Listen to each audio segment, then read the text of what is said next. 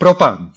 So this is a very brief, um, I would say, frame or heads up uh, about what it actually means, um, uh, the propan, what it is, uh, how it is used, uh, technically what you can expect out of it, etc. So let me let me cover you on this one. First of all, why propan? Again, as we mentioned in previous slides, this is the why because the global warming potential number is three compared to currently used gases, uh, to 2,675, almost 1,800. So this is the reason why uh, we are switching um, uh, to this gas. It has, just like any other gas here, it is a zero ozone depletion potential. So in all of them, you would find a zero in a, in a table. What is, however, um, different, and that's like the biggest um, biggest uh, distinguish here, and that is the safety classification. So while R410 was A1, which is which is non which is non-flammable, uh, R32 was A2L, which is a mid, but this um, this R290 is A3.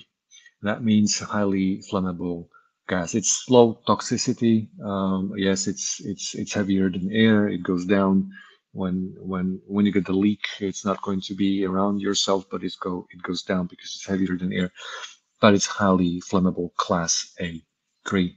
So anybody working with it in production, for example, here in R&D, in installation, in maintenance, in service, everybody really must understand that hey uh, this is not uh, r410 if if if i got even 3 kg of r410 leaking out somewhere fine nothing really happens with r32 if you if you reach i think that's 13 point something 13.1 percent um, um, um, then it's flammable but with uh, propan it's it's it's class A3, so you have to be very careful about that. So that doesn't really happen. We had a special uh, special um, um, uh, presentation by a local refrigeration association um, uh, here in Bratislava in Slovakia on the International Refrigeration Conference, where they uh, really explained us several uh, cases of accidents caused by propane, um,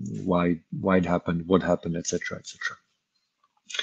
The so these are disadvantages, I would say. This is of course advantage. This is a big disadvantage of the of of the gas, but let's talk about the advantages of the gas. Why why it's why should be used.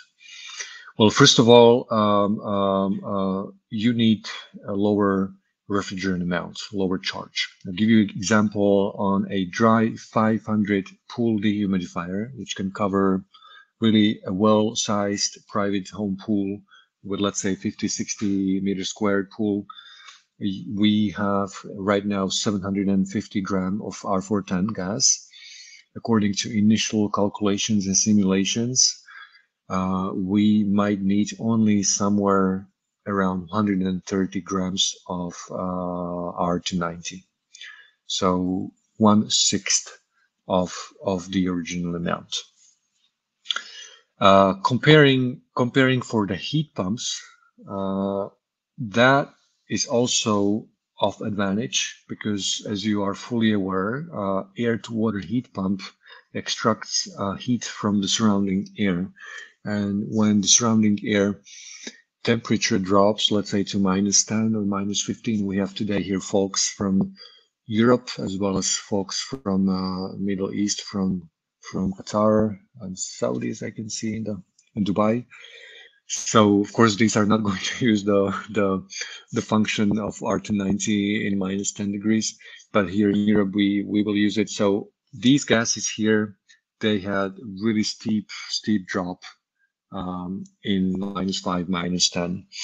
Uh, R290 as is is more of a line, which of course goes down, but it's not like steep drop uh, as on the former hydrofluorocarbons. So overall, if you look at the SCOP, which is a seasonal COP or the average COP uh, throughout the season, so not just the maximum point COP, but the average throughout the season, you're looking at 15 to 20% more, more uh, 15 to 20% higher efficiency uh, on uh, propane gas. Uh, of course, uh, disadvantage, like I said, is is the safety, and you really gotta you really gotta be cautious uh, about what you're doing uh, with the with the machine.